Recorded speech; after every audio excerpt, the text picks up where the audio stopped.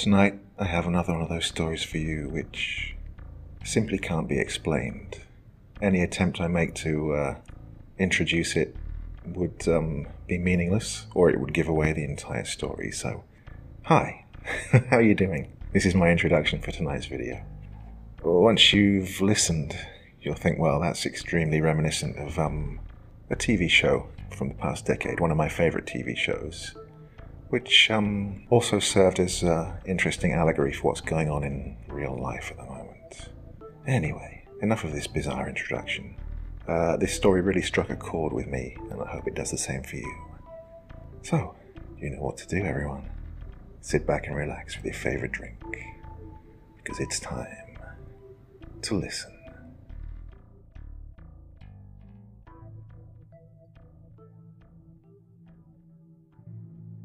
I don't have long left.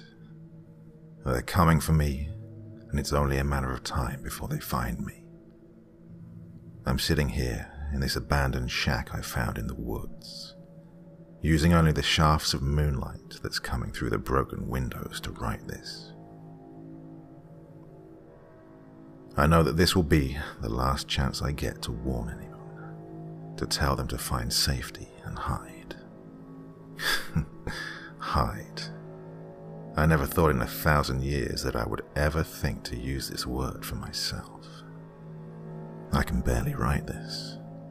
My hands are shaking so violently. The blood off of my fingers is staining the paper as I try to write. I'm sorry. I'm so sorry that it has come to this. That I have to hide like some kind of animal. They're all dead. My friends, my comrades. Jess was the first to go down. They caught her as we were leaving the old mill back in town. I don't know how they found out that we were staying there, but they did. We were packing, taking as much as each of us could carry on our backs. We heard them break through the front doors of the mill their booted steps echoing through the empty building as they ran, looking for us. We grabbed what we had and ran for the roof, but Jess forgot something a locket or some shit. I told her to leave it. We'd come back for it later. But she couldn't leave it. Jess had told me once that the locket was a gift from another life, from a time she would never forget. A lover lost to war. I wasn't surprised that she wouldn't leave it, but I still tried to beg her to come with us, that it wasn't worth it. The others tried to tell her as well, but they were the ones who told me to leave her. They're the ones who told me that we needed to run. It had just started to rain as we went across the roof. We could barely hear those first gunshots over the low rumble of thunder above us. The first screams still echo in my ears. I can hear them as if they were still around me. The screams made my skin crawl, the air filling with the sounds of death. And then, silence. The four of us were scaling down the ladders when the silence filled our ears. A deafening sound. We all stopped we shouldn't have stopped, but we did. Luke was on the ground already. He was always the fastest out of the five of us.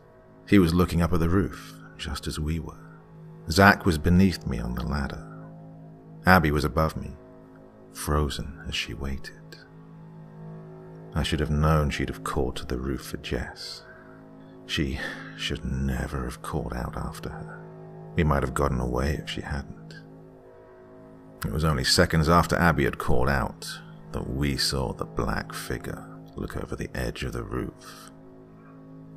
And I know my eyes went wide, just like the others. That black, menacing figure. I'd heard so many tales of black dogs being omens, or black cats, ravens, and crows. But I had never felt as afraid as I had right then when I was staring up at the faceless black figure that stared back at us. It was Zack that finally broke the silence. He yelled for us to jump and run. We were still halfway up the building on the ladders, and looking down, I remember seeing Luke shouting up at us. I couldn't hear what he was yelling. The gunshots were too loud around us. I didn't get a chance to jump. Zack grabbed my ankle and tugged me hard, forcing me to release the prongs of the ladder. Abby had already jumped off to the side of where she'd been, hurling herself to the ground below. She'd always been able to make these kind of jumps with such precision and beauty. She'd been a dancer once, a long time ago. She landed almost naturally on the ground below, rolling a few feet before standing up and grabbing at Luke, trying to pull him with her, telling him we'd catch up. I felt the ground before I saw it. My body bounced against the hard cement, and I felt my knees and palms scrape against its rough surface. Zack, though, was there with me, grabbing me up and pulling me to my feet. Luke was around us, trying to get us to move It was all happening so fast. I remember briefly looking back at the mill's roof and seeing eight black figures, now all of them shooting towards us.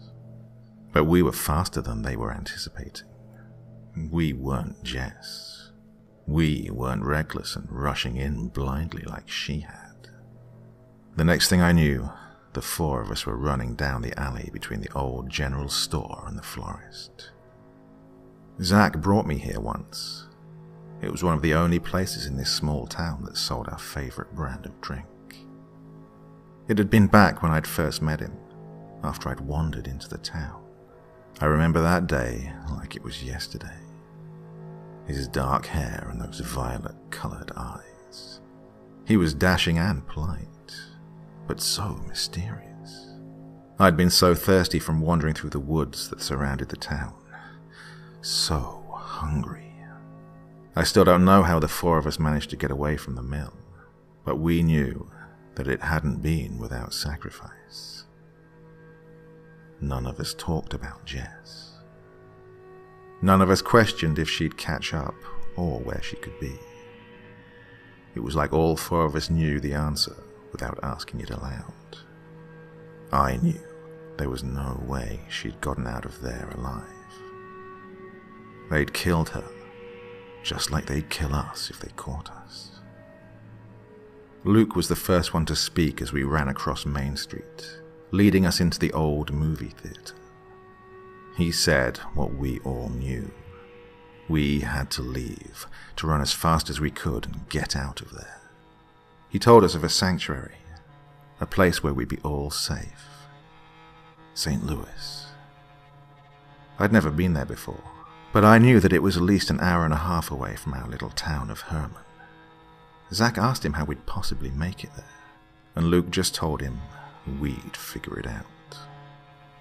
I almost felt as if maybe Luke knew what was to come, but was just too afraid to tell us. Abby was already checking the theatre, making sure that we were safe, at least for a few moments. She was the quietest of us all, so she always was the first to volunteer to go scout around if we needed it. When she came back, though, none of us were ready for the look on her face. She had no color on her face, which was saying something due to how light toned she already was. She told us we couldn't stay here, but of course, when Luke asked her why, and she wouldn't answer, he pushed her out of the way and walked into theatre number one. I shouldn't have followed. I should have listened to Zack when he told me to stay with Abby. My hand shot to my face immediately after walking into the dark room. I covered my mouth and my nose. The smell of blood was so overwhelming that it made my stomach lurch and turn. At least 15 people. All of them dead. There were bullet casings covering the floors, and the bodies were just thrown across the chairs and in the aisles. Zack told me later that this was where they'd lured everyone at first, that this was how they got so many of us down so quickly. I still didn't understand what was going on, though, but I was too afraid to ask. Abby came running into the theatre room shortly after, telling us we had to leave right then. We didn't ask questions. We didn't need to. Zack ran to the back of the theatre, back past the screen, and pushed open the door to the back alley. We ran. We had to. We left our temporary hiding place and ran back out into the rain that was now pouring down from the sky, like buckets that were being dumped down on top of us. We had to run for the forest, to where we had constant cover and safety. But that was at least eight blocks away in either direction. We were almost in the center of town. Luke thought we should head towards where the bus station was, back on the east side of town. It made the most sense because St. Louis was east of here. But Zack thought it would be too obvious. That they'd probably be waiting for us and that the roads most likely had roadblocks by now. But it was Abby who thought much differently. She'd been so quiet this entire time. But finally, she said we needed to go back for Jess. Zack just looked at her. Luke bluntly said no. Abby, though, wasn't going to settle for that answer. She started to cry. Or maybe that was just rain dripping down her face. She asked what if Jess was still alive, or hurt, and needed help. The three of us knew that we couldn't go back, regardless of whether she was alive or not. But Abby didn't want to hear it. I begged her to stop getting louder, but soon she was shouting at us, calling us monsters, telling us that this was all our fault. Abby said she was going back by herself, that she was going to get Jess. She kept backing up, and we were trying to get her to stay, to calm down and think about this. But just as she stepped back to where the side alley of the theatre was, her head jerked to the right. An explosion of blood spraying from the left side of her head.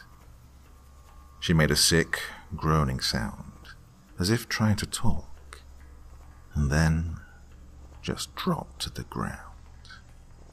I know that I screamed, even though I shouldn't have, because Zack grabbed my arm and pulled me to him, and Luke began to run the opposite way down the alley. East it was. I was in shock. I hadn't even heard the gunshot before she fell to the ground. Abby and Jess were the second people I'd met when I'd come here. They were in the general store, buying the same brand of drinks that Zack was buying for me. They were beautiful girls and best friends. They'd been friends since before they could remember, and they were nearly inseparable. In fact, over the past numerous years, I can only recall a handful of times when they'd been away from one another. Jess had been in love with Luke, but Luke liked Abby. Unfortunately, Abby had never gotten over her lost love. We ran down that alley as fast as we could. We didn't even look behind us. We'd turn down this alley and then that, swerving in and out of buildings, doing the best we could to avoid the main streets. We didn't see another soul until we got to where the bus station was. Herman Station was small, nothing big and glamorous just a small outdoor station with kiosks where they sold the tickets. It was quiet there. Luke had expected to find at least a bus or two, since there were normally a couple that were kept here for backup or emergencies. But they were long gone. Apparently, they'd been evacuating for a day or two before now. Quietly. It was like they knew who they did and didn't want to save we would have to run from here. Make our way to St. Louis by foot. Luke even grabbed a map from a nearby kiosk, just so we knew where we were going and where to avoid. He'd made the trip to St. Louis numerous times, but this would be the first time any of us had walked there. We let our guard down, though. We'd finally thought we were free, that we had our way out, and that we were going to get out of there.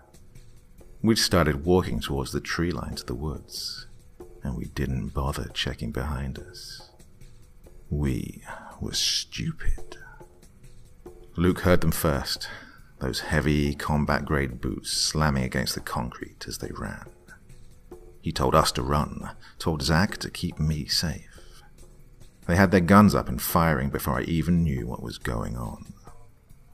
I heard the bullets ricocheting from around us as Zack pulled me by my hand towards the trees. I didn't dare look back at Luke. I could hear the screams again, just like before at the mill. People were dying. Luke was dying. While we were running, I asked Zack what was going on, why this was happening. I thought we had government immunity, that we were safe, that we could live. Zack told me that the immunity was over, that the newest president had thrown out the agreements and had deemed us all a threat to the nation. He called us monsters. He said we had no reason to be here anymore. Zack told me that we were no longer safe.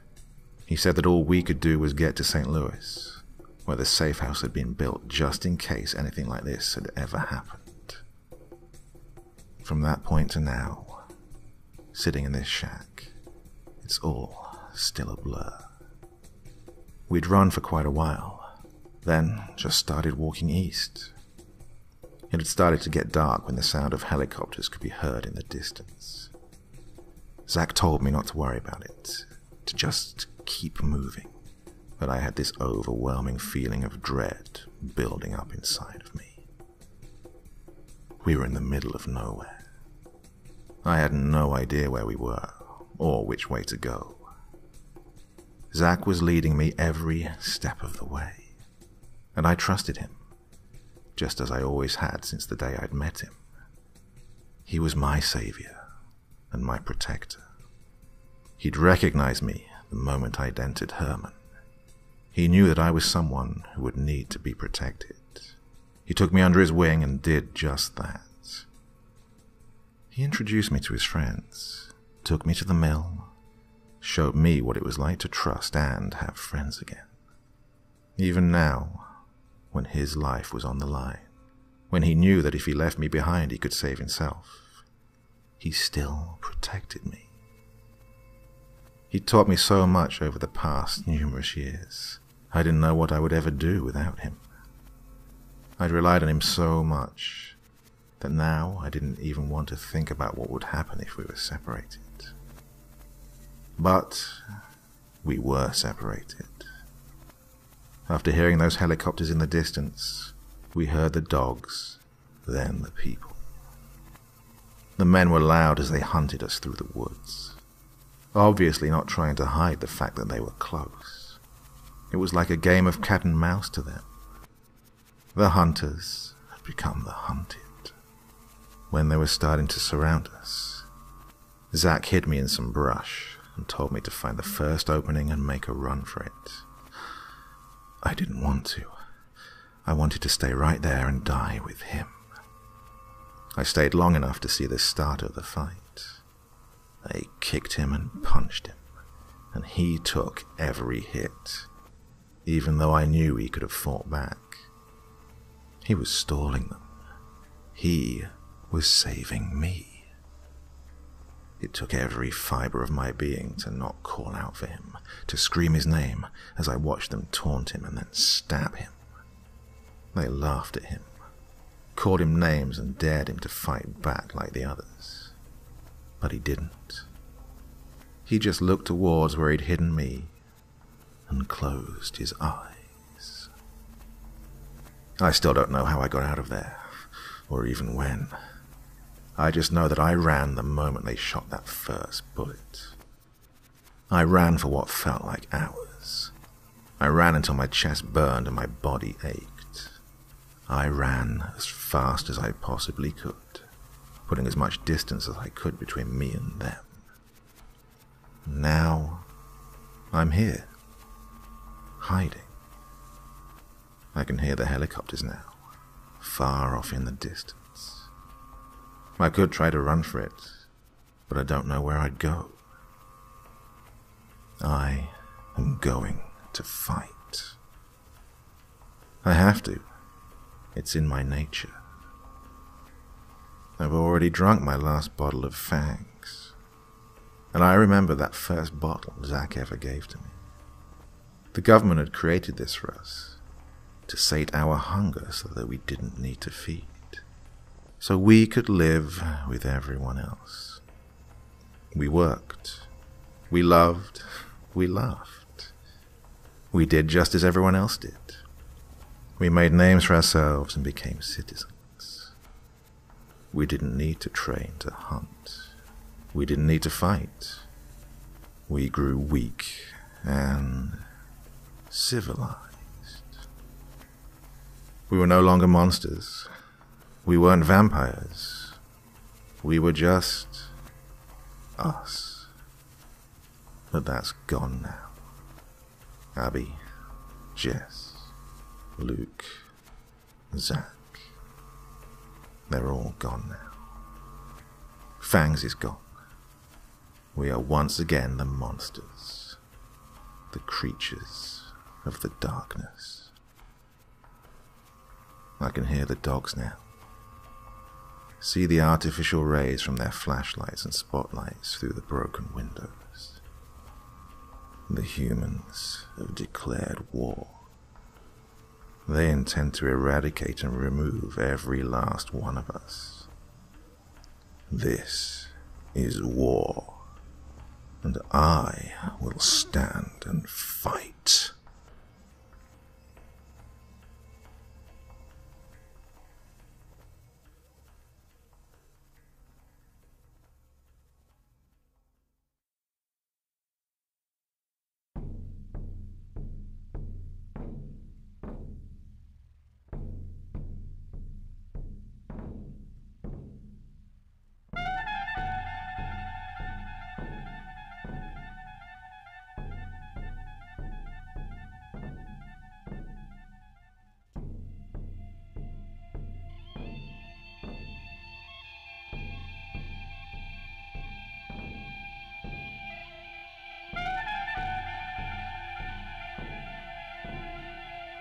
So, anybody who was a fan of True Blood would have uh, guessed which guessed which uh, show I was talking about.